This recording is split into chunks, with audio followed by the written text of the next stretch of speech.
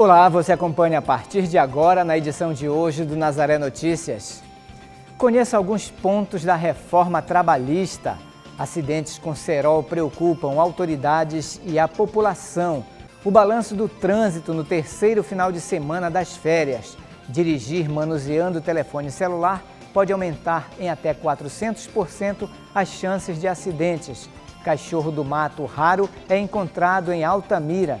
E na entrevista de hoje vamos falar sobre publicidade infantil. Hoje é terça-feira, 18 de julho, e o Nazaré Notícias já está no ar.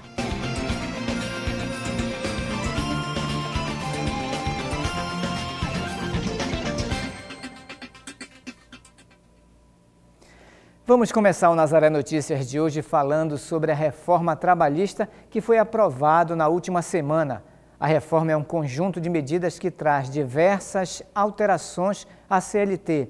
Nas ruas, os trabalhadores ainda têm muitas dúvidas sobre a mudança. A reforma trabalhista foi sancionada na última quinta-feira pelo presidente Michel Temer sem vetos. A reforma altera cerca de 100 itens das leis trabalhistas e deve entrar em vigor 120 dias após a sua publicação no Diário Oficial da União. Apesar de trazer profundas mudanças na relação do trabalhador com o empregador, muita gente ainda não sabe o que significa a reforma. Estão falando muito sobre, sobre essa nova lei né, agora e confesso que preocupa muito nós que somos trabalhadores, né? Porque vai, vai mudar muito, vai prejudicar muitos trabalhadores se a gente for parar para analisar mesmo. É isso mesmo? A reforma trabalhista é prejudicial ao trabalhador? A reforma altera mais ou menos 100 dispositivos da CLT. E eu não consegui ver nada de positivo para o trabalhador. Todos os pontos são negativos. É, essa reforma vem por meio do poder legislativo, ou seja, por meio dos representantes do povo, dos representantes dos estados, ela, ela vem destruir construções de, de, de direitos estabelecidos a trabalhadores ao longo de décadas. É, então eu não consigo avaliar nenhum ponto positivo, eu vejo apenas pontos negativos. Perguntamos para algumas pessoas quais são as suas principais dúvidas sobre as novas regras. De uma forma geral, é, uma grande dúvida que tem com quem a gente conversa seria sobre o trabalho intermitente. Como é que seria essa forma de trabalho, como é que seria essa modalidade, né? e principalmente nas rescisões. Como é que seria a questão do FGTS, né, do seguro-desemprego. É, o trabalho intermitente é uma das muitas atrocidades cometidas nessa reforma trabalhista. Né? Hoje o empregador é, pode ligar para o empregado e falar, olha, eu quero que você venha aqui trabalhar só uma hora. Eu quero que você venha aqui hoje trabalhar três horas de manhã, você vai ter um intervalo de, de duas horas, depois de tarde você trabalha mais três horas, depois de noite você trabalha mais três horas.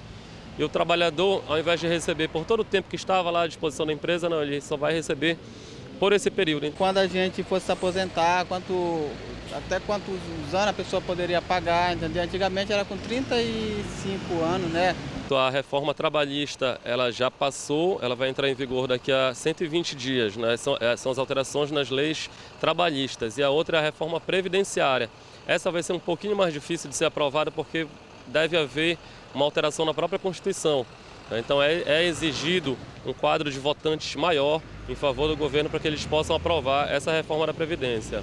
Pelo texto da reforma, algumas atividades deixam de fazer parte da jornada de trabalho. Agora não será mais contado. E vamos além. Nós temos trabalhadores que trabalham em locais de difícil acesso, por exemplo, em Minas, a gente tem muito aqui atividade minerária aqui no estado do Pará, em plataforma de petróleo. E a empresa apanha esses trabalhadores em casa e leva para trabalhar. Então, muitas vezes a empresa apanha o trabalhador às 6 da manhã e ele só vai começar a trabalhar às 8 da manhã. Essas horas são chamadas de horas em itinerary, é o trajeto casa-trabalho. E hoje ele, o trabalhador tem direito a receber por essas horas. Só que a partir da reforma trabalhista isso acaba. Dentre as muitas dúvidas sobre a reforma, essa empregada doméstica tem uma certeza. Eles vieram só para lascar mesmo a nossa situação para quem trabalha, para quem depende, né? A Constituição diz que são direitos dos trabalhadores, aqueles elencados na Constituição, além de outros que visem a melhoria de suas condições. Né? Quer dizer, quando você faz uma alteração infraconstitucional, né? uma alteração abaixo da Constituição, piorando os direitos dos trabalhadores, essa alteração é inconstitucional. Então há muitos magistrados, há muitos é, membros do Ministério Público do Trabalho que vão tentar resistir a isso. A população deve se informar. Hoje na, na internet qualquer pessoa que queira é, buscar o conhecimento ela vai, ela vai encontrar. E agora o assunto é economia. O número de empresas inadimplentes bateu novo recorde no Brasil em maio deste ano. Cerca de 5 milhões de CNPJs estavam negativados, a maior quantidade registrada desde o mês de março de 2015. A maioria das empresas inadimplentes está no setor de serviços, representando 46,7%. Se comparado ao mesmo período do ano anterior, houve um aumento de um ponto e meio percentual. O comércio corresponde a 43,7%. Já o setor da indústria responde por 8,7% da inadimplência. Entre as regiões do Brasil, mais da metade das empresas em situação de inadimplência estão no sudeste do país, com 53,6%. A região Nordeste tem 16,7% de empresas com dívidas atrasadas, enquanto o Sul responde por 15,7% do total. A região Norte representa apenas 5,4% do total dos CNPJs negativados no Brasil. E agora nós vamos falar de manifestação. O Conselho Indigenista Missionário, o CIMI, informou que cerca de 200 indígenas da etnia Munduruku ocupam o canteiro de obras da usina hidrelétrica de São Manuel, que está sendo construída no município paraense de Jacareacanga, na divisa com o Mato Grosso. A empresa responsável pela usina informa que está negociando a liberação do canteiro com os indígenas. A hidrelétrica São Manuel começou a ser construída em 2014 e, segundo a empresa responsável pela usina, o prazo previsto para a conclusão da obra é em maio de 2018. Quando estiver pronta, seu reservatório terá uma área de 66 quilômetros quadrados e capacidade de geração de 700 megawatts, de acordo com o CIMI. Os manifestantes, que representam 138 aldeias da bacia do Tapajós, chegaram no local na noite do dia 15 em quatro barcos para uma manifestação que havia sido definida em maio de 2017 durante um encontro de mulheres na aldeia. Em carta aberta divulgada pelos manifestantes por meio do Conselho, os indígenas alegam que a obra de construção da usina violou dois territórios sagrados. Mês de julho, uma das brincadeiras mais constantes é empinar papagaio. Medidas de segurança devem ser realizadas para que esse divertimento não traga consequências, como em Altamira, que um jovem foi vítima do famoso cerol usado nas linhas de pipas, uma brincadeira perigosa que pode ser fatal. O rapaz que teve o rosto cortado pela linha encerada mora na cidade de Uruará. A foto mostra o rosto do rapaz, vítima da linha com cerol no município de Uruará. Foram mais de 15 pontos para reparar o estrago na face da vítima, que por pouco não teve ferimentos mais graves. O caso serve de alerta para a brincadeira, que pode ser fatal.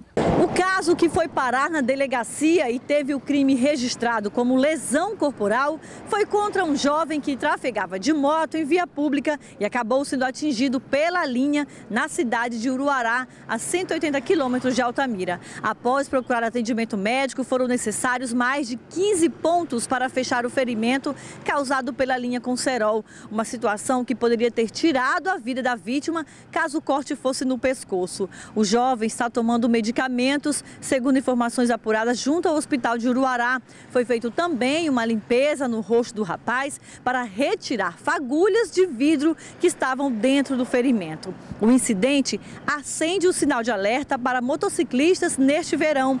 A brincadeira aparentemente inocente pode causar estragos irreparáveis. Aqui em Altamira, duas pessoas já foram parar em hospitais com ferimentos causados pelas linhas de cerol das pipas. O Corpo de Bombeiros, inclusive, faz alerta às pessoas que costumam empinar pipas para que elas brinquem em lugares adequados e não usem o famoso cerol para evitar esse tipo de acidente. Neste mês de férias, os perigos aumentam em relação a acidentes dessa natureza. No mês passado, o Corpo de Bombeiros de Altamira fez um alerta sobre a prática desta brincadeira. E a orientação é não empinar em áreas urbanas, onde tem a rede elétrica. Por quê? Existe o risco para quem está empinando e existe o risco para quem está passando num veículo ou andando, porque a linha encerada ou também não estando encerada, ela pode vir a causar um acidente muito grave, inclusive levando a óbito, a morte. Né? Então a orientação que a gente deixa de segurança é essa, que as crianças sejam orientadas, principalmente na escola, os professores, os diretores, perto de liberar as crianças, já faz essa orientação. O que falta às vezes é orientação para a criança, dando uma liberdade, porém, é informando para ela os riscos que ela corre. E agora nós vamos falar sobre publicidade infantil.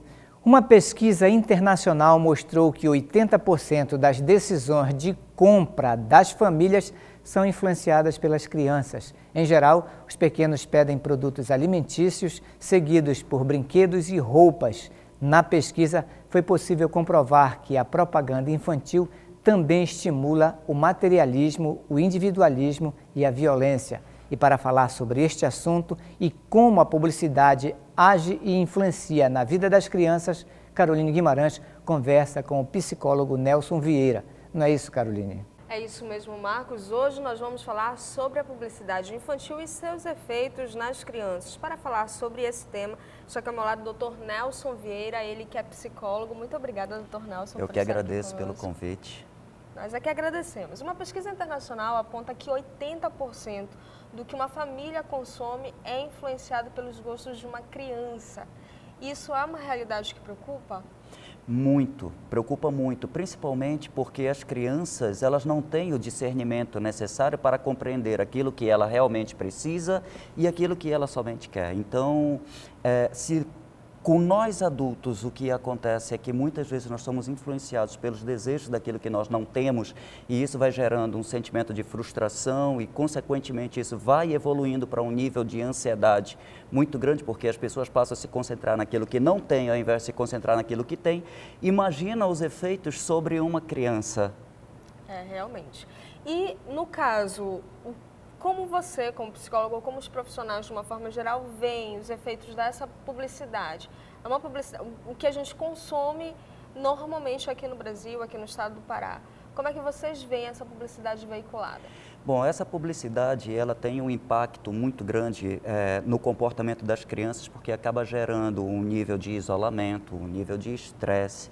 A criança ela vai se sentindo é, frustrada e olha, ao contrário do que muita gente pensa, o sentimento de frustração é saudável e é necessário nas fases de desenvolvimento infantil, para que quando ela chegue na fase adulta, ela saiba dar valor naquilo que ela tem, naquilo que ela conquistou. Mas as crianças, elas perderam o gosto, muitas vezes, ou o interesse, no num nível geral, pela conquista das coisas que lhe são realmente importantes. Então, para a criança, tudo o que ela vê, praticamente, ela quer. E a propaganda, ela está em todos os lugares. Ela está na internet, está na TV, está na rádio. Ou seja, e as crianças dificilmente ouvem rádio, mas assim, principalmente na internet e principalmente na televisão, as crianças acabam sendo influenciadas para consumir alimentos, para consumir brinquedos, para consumir sobretudo tecnologia. Né? Então, tudo que a criança vê praticamente, ah, eu preciso disso, mas será que ela precisa realmente disso? Então, cabe aos pais, né? porque a mídia está fazendo o papel dela, a, a, a publicidade está fazendo o papel dela. Agora, cabe aos pais de dar mais carinho, de dar mais atenção, de, de, de fazer com que a criança se exercite mais, para que ela não tenha tanto esse sentimento da falta daquilo que ela não tem mas valorize aquilo que ela tem. Muitas pessoas dizem que os pais precisam controlar aquilo que a, que a criança está consumindo na televisão. No caso da publicidade é um pouco mais complicado de se fazer, né? É bem mais complicado. Controlar o acesso da criança hoje às redes é, sociais já, já é uma coisa complicada. Imagina você ficar, você ter que trabalhar, você tem que fazer uma série de coisas, série de afazeres no dia a dia e ainda ter que dar conta né, é, do que a criança acessa ou deixa de acessar, porque porque está tudo muito mais disponível do que estava há 30 anos, na época da, da, da nossa infância. Então, hoje, as crianças elas têm acesso a tanta informação, mas tanta informação, que pode bagunçar um pouquinho a cabeça e, consequentemente, os sentimentos dessa criança. E, e isso pode levá-la a um nível de estresse é, antes do que ela poderia ter sabe? Então, é, em, nas fases de desenvolvimento da infância, é importante que a criança possa brincar, que ela possa se divertir, que ela possa, sabe, interagir com outras crianças, que ela possa fazer mais leituras, em livros mesmo, né? não apenas é, nos e-books, agora nos audiobooks que as crianças ouvem também.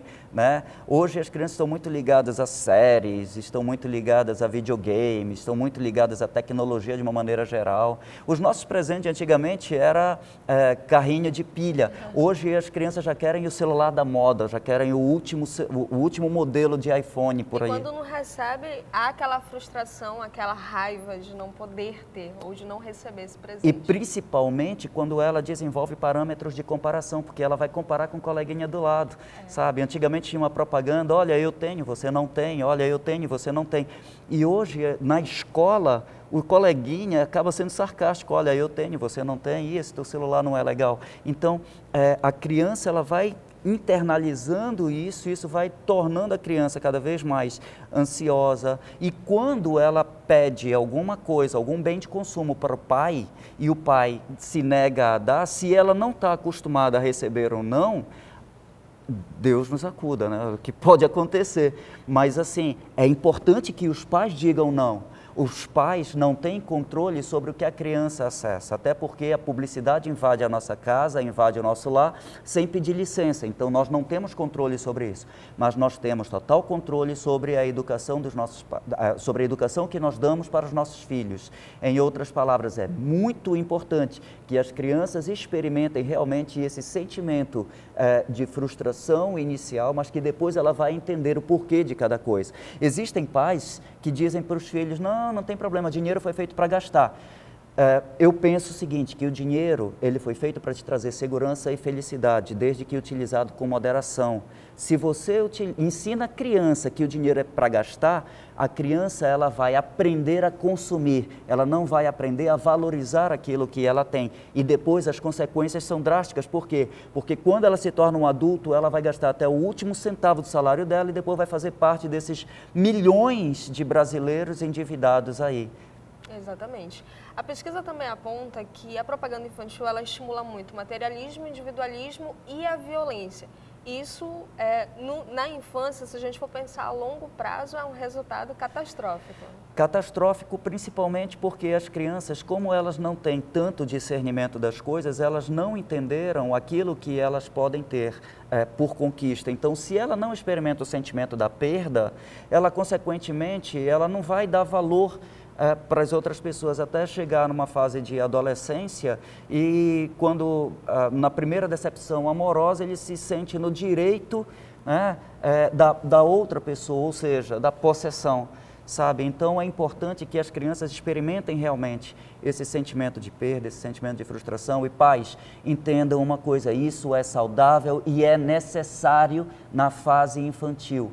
Quem ama, educa. Amar é diferente de simplesmente dar carinho, dar atenção, é diferente de afeto. Amar não é simplesmente dizer sim para os seus filhos. Ou seja, se ele já tem carinho, se ele tem amor dentro de casa, se ele tem educação suficiente, é importante um pouquinho de disciplina para que ele aprenda a ser um cidadão, um bom cidadão, para que ele entenda o que é dele e o que é do outro, para que ele possa compreender o que é necessário para ele e o que é necessário para o outro. Pode envolver as crianças, inclusive, em atividades filantrópicas, envolvendo na comunidade, na igreja, sabe, independente da religião que ele faça parte, se não faz parte de religião, mas existem várias ONGs, para que ele possa conhecer de fato, a realidade daquelas crianças que realmente precisam, às vezes, é, de, de, de, um alimento, que precisa realmente de um brinquedo, que precisa até de um afeto e não tem afeto. E que ele tem tudo isso, mas que ele ainda quer mais, e ainda quer mais, e ainda quer mais, mas porque, porque ele não tem parâmetros, ele não tem discernimento para compreender aquilo que é necessário e daquilo que não é. Tem inclusive uma pesquisa que diz que pessoas que fazem ações de caridade, que se doam de alguma forma, é, descobrem felicidade nisso. Seria interessante mostrar a felicidade é, sendo recebida de uma forma boa, de você fazendo uma caridade, do que você consumindo, sendo feliz com aquilo que você está consumindo, né?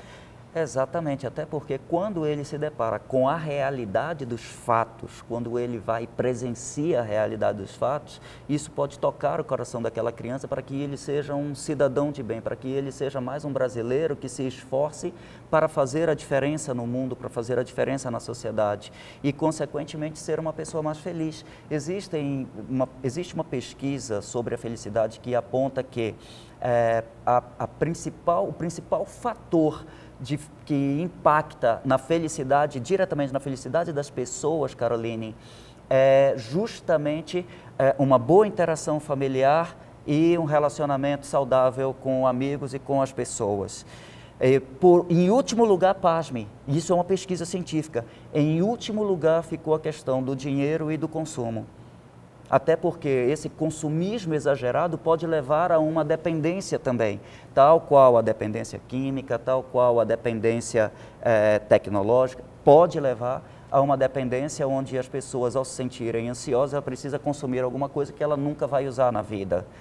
Imagina só, então, quando tem tantas pessoas precisando de você, às vezes precisando serem ouvidas, precisando de um pouquinho só de atenção. Não estou falando nem de coisas materiais, mas que muitas vezes a gente se é, vira as costas para aqueles que realmente precisam. Então, isso também traz felicidade, como você disse no início.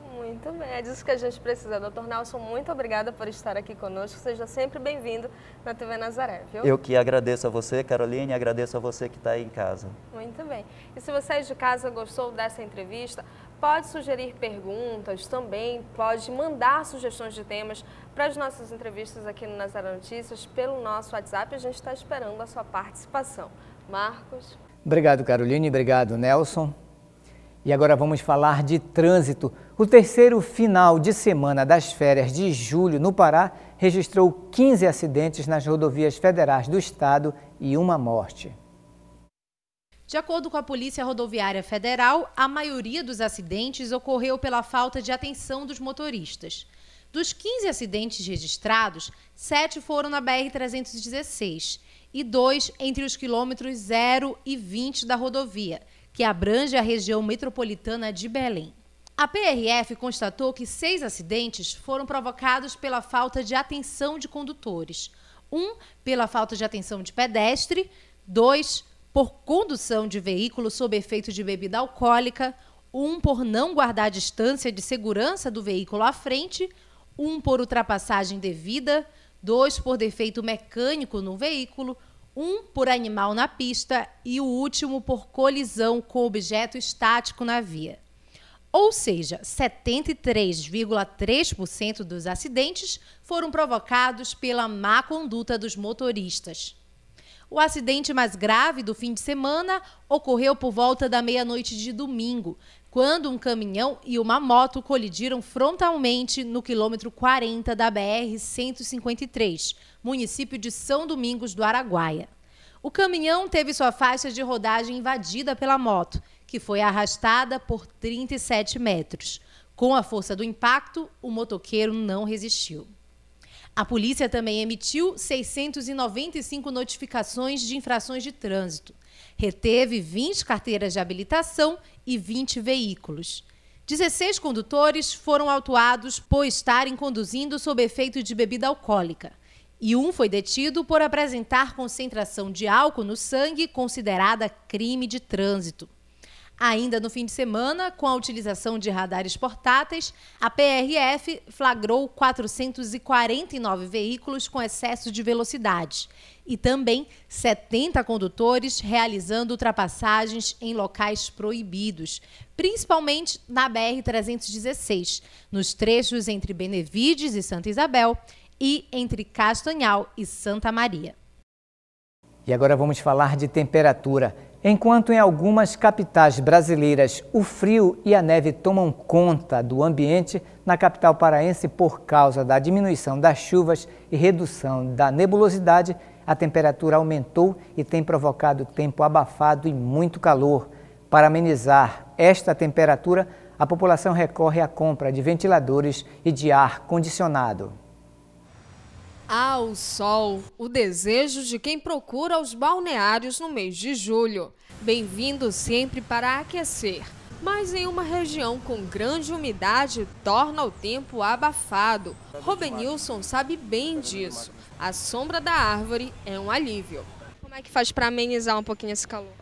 Olha, tomar bastante água, né? Suco natural. Faz bem, se faz bem, muito bem. E em casa, como é que você lida com esse calor? Olha, com muito banho, ventilador, a energia aumenta um pouco, né? Seu Emanuel vende água há mais de 20 anos. O tempo quente é bom para os negócios, mas o trabalho no calor do asfalto exige hidratação. Temos muita água, uma base de 4 litros de água por dia aqui. Aqui, essa sombra só agora. Daqui a pouco só vai até 5 da tarde. Os dias estão cada vez mais ensolarados. As nuvens quase nem aparecem, o que diminui muito a precipitação de chuvas. Todos esses fatores fazem com que as temperaturas fiquem elevadas, subindo até 3 graus Celsius os valores médios. E em dias como este, ensolarado, a sensação térmica chega a ser maior que 40 graus. O calor aumenta as vendas de águas e também de ar-condicionados e ventiladores. Nesta loja aqui em Belém, desde o mês de maio, as vendas já cresceram cerca de 15%. Esse ano, a partir do mês de maio e nos meses, meses de maio, junho e julho, nós sentimos um aumento em torno de 20 a 30% das vendas nesse, nessa parte de produtos, tanto os ar-condicionados, quanto os splits, quanto os ventiladores tradicionais. Esse ano, devido a essa temperatura externa que nós percebemos que também cresceu muito, nós tivemos, um, em comparação com o ano passado, essas vendas foram bem maiores. A diferença de preço do ano passado para cá gira em média de 10 a 15%. Claro que a gente teve uma, um aumento aí da inflação que girou também muito próximo desse valor. Foi um aumento gradativo que é normal do mercado. E agora nós vamos ver como é que fica a previsão do tempo para esta quarta-feira em alguns municípios da Amazônia.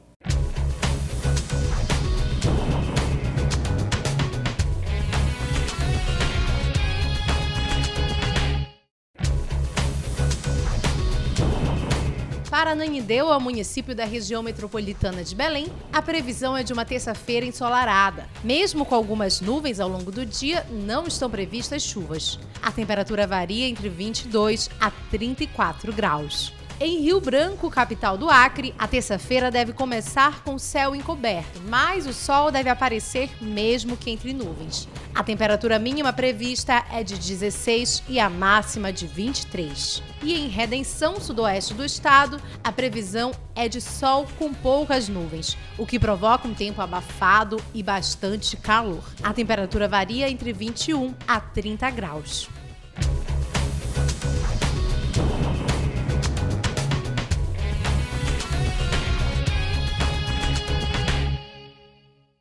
E um alerta para quem for viajar nesta segunda quinzena de julho com crianças, de acordo com o Estatuto da Criança e do Adolescente, o ECA, que completou 17 anos no último dia 13 de julho, o embarque de crianças e adolescentes desacompanhados dos pais em viagens só deve ser feito com autorização legal. O documento tem prazo de validade de 90 dias e pode ser emitido em aeroportos, terminais rodoviários e outros, mas é recomendado prepará-lo com antecedência. Além do documento de identificação, como certidão de nascimento e RG, a autorização é obrigatória para menores de 12 anos em viagens nacionais e para menores de 18 anos em viagens internacionais.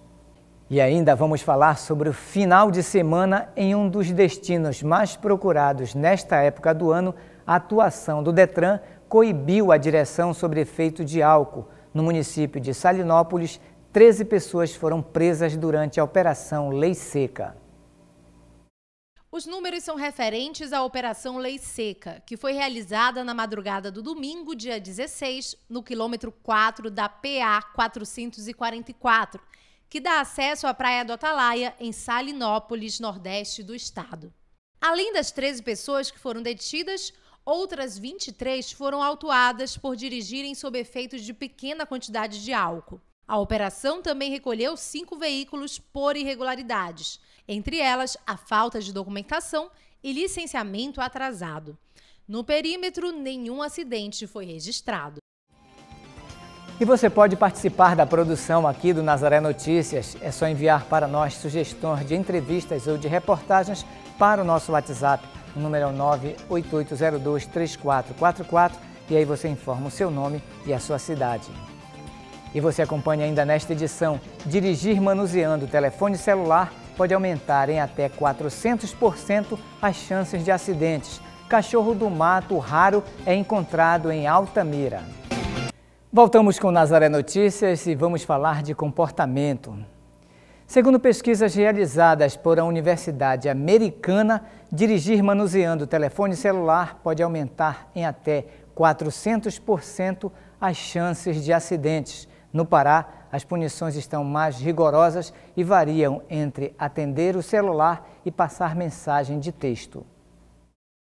Pesquisas norte-americanas apontam que o motorista perde cerca de 5 segundos de atenção ao desviar seu olhar para ler a mensagem no aparelho. A falta de atenção pode causar acidentes graves. No mês das férias, principalmente, o Departamento de Trânsito do Estado do Pará realiza uma intensa campanha aproveitando inclusive a Operação Verão, para realmente alertar do uso inadequado do celular, tanto para a pessoa que usa falando, também quanto a questão do manuseio, né, a utilização de redes sociais, mensagem de texto, que segundo estudos a pessoa ela tem um, um ela perde a sua distração tanto ao falar quanto manusear o celular. Quando ele manuseia é muito mais, mais demorado a questão da falta de atenção, ele tira a visão, ele baixa a vista, enfim, ele vai olhar para o aparelho, para o celular e pode vir a gerar um grave acidente. Não é à toa que o governo federal editou norma no final do ano passado, além de dividir as condutas, falar ao celular e também manusear, ele agravou as penalidades, as multas.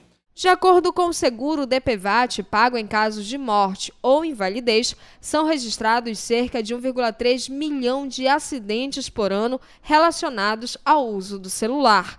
Os dados também mostram que 80% dos motoristas admitem que utilizam o aparelho ou outras tecnologias que geram distração enquanto dirigem. Não é à toa que o Brasil é um dos países que mais utiliza smartphone, redes sociais, né, editor de, de texto no celular e então preocupado com isso, não, o legislador criou essa obrigatoriedade, essa, essa digamos, esse agravamento dessas punições. Ah, segundo estudos de institutos americanos, né, a pessoa que passa a utilizar o celular para passar textos, ela perde ela, de 3, 5, 7 segundos, dependendo do texto que ela foi editar, mandar mensagem, e isso no trânsito pode ser fatal. Você perder um, dois segundos é, já é muito grave, imagine 3, 7, 10 segundos, você baixa a cabeça, você olha para o aparelho e o veículo em movimento, em linha reta, 50, 60 por hora, é, numa curva ou algo nesse sentido. Então, de repente, pode acontecer um problema, um, um cachorrinho correr na rua, uma criança, um carro na frente de parar bruscamente, você pode vir causar um grave acidente. Dados de uma pesquisa realizada pelo Observatório Nacional de Segurança Viária apontam que 98% dos acidentes de trânsito são causados por erro ou negligência humana.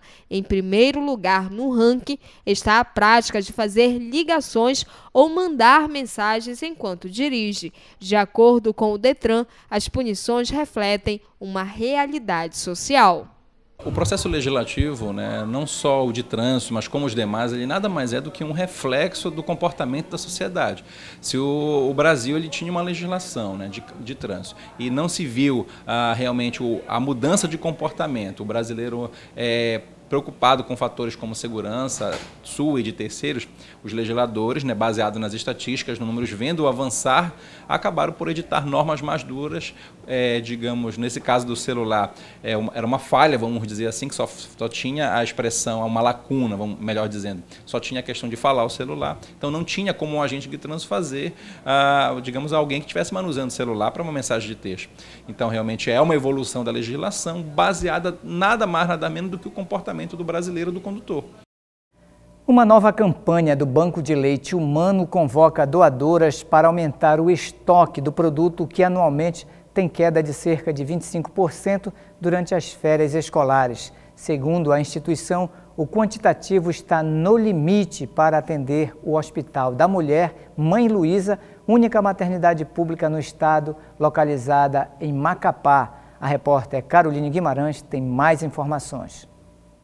As interessadas em doar devem procurar o banco de leite que fica no Hospital da Mulher Mãe Jovina.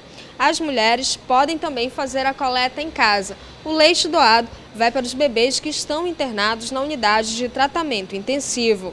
Caroline Guimarães para o Nazaré Notícias. E agora vamos falar de educação. Os alunos selecionados na lista de espera do programa Universidade para Todos, o ProUni, têm até hoje para entregar a documentação que comprove as informações prestadas durante a inscrição. O resultado da lista de espera foi divulgado na última quinta-feira e pode ser acessado na página eletrônica das universidades escolhidas. Os candidatos devem comprovar a seleção diretamente com as instituições. A concessão da bolsa está condicionada à regular participação e aprovação do candidato e também à formação de turma no período letivo inicial do curso. O ProUni oferece bolsas de estudos integrais e parciais em instituições privadas de educação superior, em cursos de graduação e sequenciar de formação específica a estudantes brasileiros sem diploma de graduação. Podem participar egressos do ensino médio da rede pública ou particular, além de estudantes com deficiência e professores servidores. O Instituto Mamirauá está com edital aberto para o Programa Institucional de Iniciação Científica Sênior e Júnior para Tefé, no interior do Amazonas. As inscrições vão até sexta-feira. Jovens do município de Tefé que estejam matriculados na graduação ou no ensino médio podem concorrer à vaga. Carolina Guimarães tem mais informações. Os interessados devem ir até a sede do Instituto em Tefé levando cópia original do RG, CPF, também histórico escolar e currículo. Para mais informações, basta acessar o site do Instituto, que é www.mamirauá.org.br. Carolina Guimarães para o Nazaré Notícias. A quinta edição do Mutirão Odontológico pretende atender 400 pessoas na unidade básica de saúde do bairro Vitória, em Rio Branco, na capital do Acre, até este sábado. O posto que atende outros três bairros da região recebeu o programa Cuidando do Seu Sorriso nesta segunda e a média é que sejam feitos até 80 atendimentos por dia. Conforme a coordenação do projeto de odontologia da Secretaria Municipal de Saúde no local, as pessoas vão encontrar atendimentos prioritários de serviços de urgência e emergência, como a extração, restauração e limpeza bucal. Nesta semana, a partir de hoje, a Ilha de Mosqueiro está recebendo o serviço de castração animal. O castramóvel, veículo itinerante, que castra cães e gatos, está na praia de Carananduba até quinta-feira, sempre a partir das 8 horas da manhã. Para realizar a castração, o animal deve ter idade superior a seis meses, estar em jejum por 12 horas e estar com boa saúde. O serviço é oferecido gratuitamente para pessoas com renda abaixo de até dois salários mínimos. A castração pode ser agendada no local. Basta o proprietário do animal ser morador da ilha e apresentar documento de identificação e comprovante de renda e residência. A ação também conta com vacina antirrábica, que será realizada em animais a partir dos três meses de idade. O serviço segue até a próxima quinta-feira, dia 19.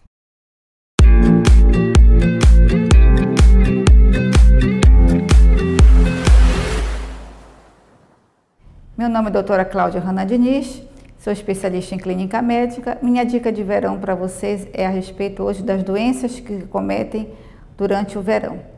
Entre elas, a mais conhecida e a mais comum são as queimaduras solares.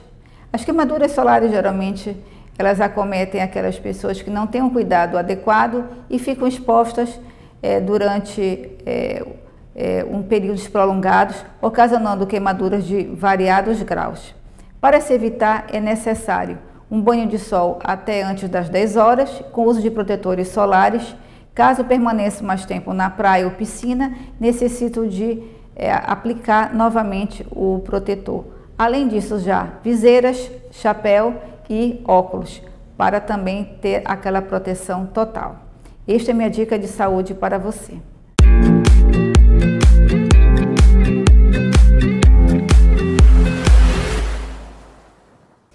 A Jusepa está com inscrições abertas para o terceiro Fórum Intermunicipal Integrador Pará, programado para o dia 9 de agosto em Altamira, no sul do estado.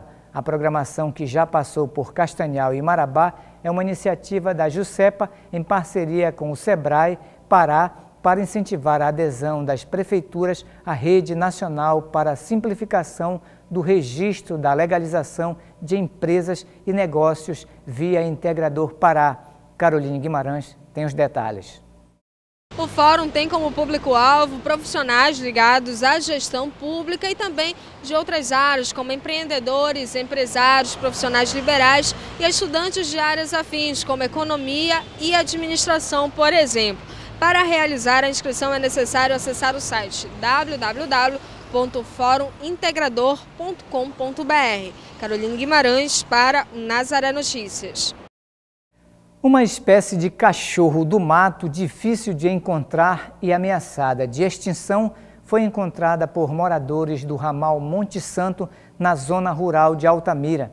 Os animais estão sob os cuidados do Centro de Estudos Ambientais da Norte Energia.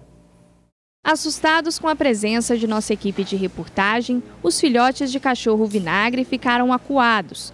Com uma sensibilidade incrível, a audição desses animais consegue captar ruídos distantes, mesmo sons muito baixos, o que coloca a espécie em alerta. Os dois filhotes, um macho e uma fêmea, por enquanto vivem aqui no Centro de Estudos Ambientais da Nossa Energia e recebem cuidados veterinários. Os filhotes de cachorro vinagre foram encontrados por uma moradora do ramal Monte Santo, na zona rural de Altamira. Os animais foram entregues ao IBAMA no dia 21 de junho e já no dia 22 foram trazidos ao Centro de Estudos Ambientais da Nossa Energia para receberem cuidados veterinários. Os animais medem cerca de 20 centímetros de comprimento e 10 centímetros de altura. Chegaram é, razoavelmente bem, né, com score corporal bom, é, estado geral bom, somente um quadro de diarreia que logo foi resolvido, né?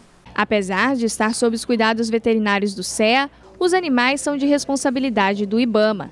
Ainda segundo a veterinária, os filhotes já apresentam dentição, um sinal de que o desmame já aconteceu. A alimentação dos animais é feita com base em uma dieta proteica, com carne e ração canina. A ideia é acrescentar frutas em uma das refeições. O cachorro vinagre, que também é conhecido por muitos como cachorro do mato, é uma espécie nativa da América do Sul. O nome curioso vem da cor da pelagem, que é marrom avermelhada. Acreditamos que eles devam estar com mais ou menos três meses de idade, né? Na natureza, eles vivem, eles vivem em bando de 4 a 10 indivíduos. Eles se alimentam basicamente de proteína, né? carne. É, eles caçam, geralmente em bando também e os filhotes ficam na toca. Por se tratarem de animais silvestres, a, a tendência deles na presença do ser humano é se esconder. Eles não são acostumados. O cachorro vinagre foi descrito pela primeira vez em 1987. Hoje, a espécie está ameaçada de extinção. Para a comunidade científica, antigamente, eles eram considerados como fósseis, porque não tinha relato de visualização deles, era somente encontrado algum vestígio é, ósseo, carcaça, então eles eram considerados como fósseis, mas aí com o passar do tempo, estudos, monitoramentos e visualizações, então é, por mais que eles sejam difíceis de ser encontrados, é, a gente sabe que que eles estão aí, né? que eles estão na natureza, eles ocorrem é, na maioria do, do, dos biomas da, da, do, da região brasileira, é, com exceção da caatinga. Três funcionários cuidam dos animais machucados que passam aqui pelo CEA. O local abriga também diversas espécies vegetais nativas da região. Segundo a gerência do meio biótico, além de abrigar animais encontrados durante a supressão vegetal, o centro também recebe espécies capturadas por órgãos ambientais. Todo aquele animal que vier da supressão, que veio né, da supressão e durante o enchimento também do lago, eles, aqueles que precisam de algum cuidado têm um lugar próprio para eles serem tratados com uma equipe própria, com veterinários, biólogos, auxiliares, né, que estão justamente é, qualificados para esse trabalho. Os filhotes de cachorro vinagre devem ficar aqui no CEA por cerca de um mês Este é o prazo de autorização de transporte. O Zoológico de Brasília e o grupo do Plano de Ação Nacional para a Conservação do Cachorro Vinagre manifestaram interesse em receber os animais. O IBAMA deve decidir para qual instituição os filhotes serão enviados. A fase crítica deles, que logo que eles chegaram, já passou. Agora, já que eles estão se alimentando bem, as fezes estão ok, é, já foram vermifugados, né? então essa fase crítica já passou. Então, a partir do momento que, que que a gente ter o ok do IBAMA para transportá-los, eles podem ser transportados até o destino. E essas foram as notícias de hoje. Para dar sugestões de entrevistas ou de reportagens, você pode enviar para o nosso WhatsApp, número 988023444. Mas se você quiser rever nossas reportagens, acesse o portal Nazaré www www.fundacionazaré.com.br ou acesse a nossa página no Facebook. Nazaré Notícias fica por aqui. Nos encontraremos amanhã na próxima edição. Até lá!